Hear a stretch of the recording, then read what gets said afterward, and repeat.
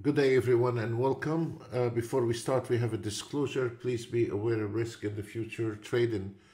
Uh, today is Monday, and um, actually, it was a very good day for Monday. Uh, all we don't have any more opening position on any charts, but we we're gonna show some of the charts. We're not gonna bring everything down. Uh, we have the Y uh, the YM on the seven range did the 2400 and uh, this is not bad for Monday. Uh, we have the CL one minute 6100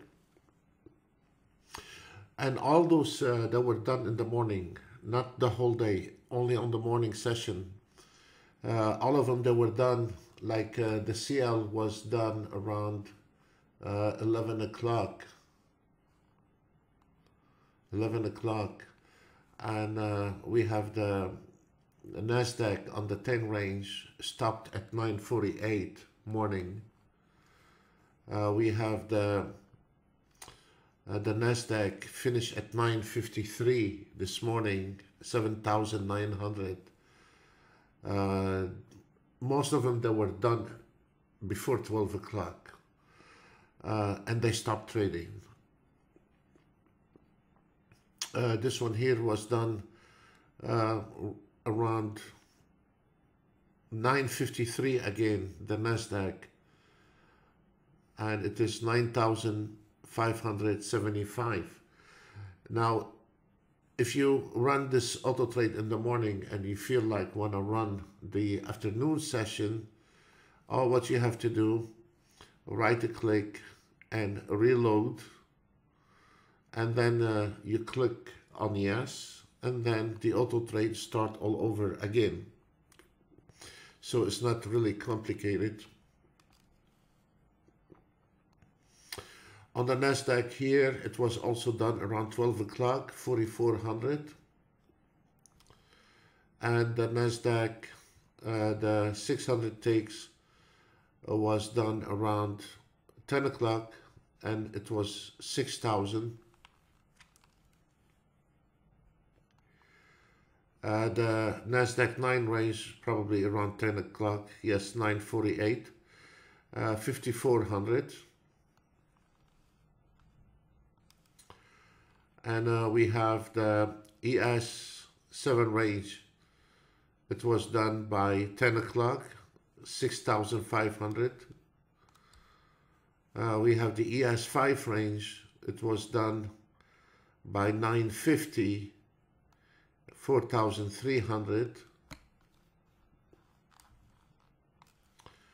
and uh, we have the ES also it was done by 952 5,287 that's mean stop trading by 10 o'clock.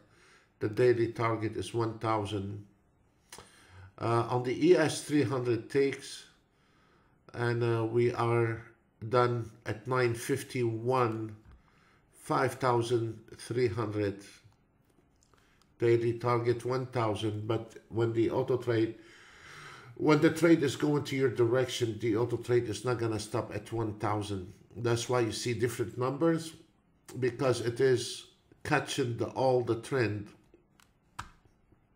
And this is not an ATR um, and this one here is uh, finished uh, around 950 all of them they finish around the same time. And I did 4250 uh, I want to bring the scalpers as a total different auto automated trade the scalpers also that were done uh, very early in the morning. And uh, that's all the scalpers I have for charts. And uh, they all hit the target.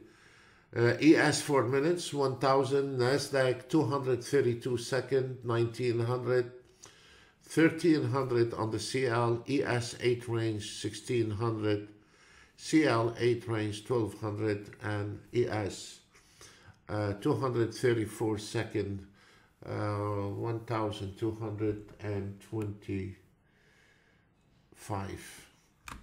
So the scalpers also did very well and uh, the M strategy, this is a total different auto trade.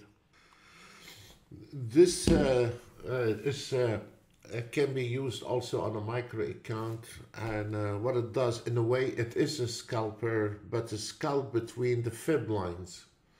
And uh, every single one of them what it does you just feed it how many contracts you want but what it does it trade one contract uh, and uh,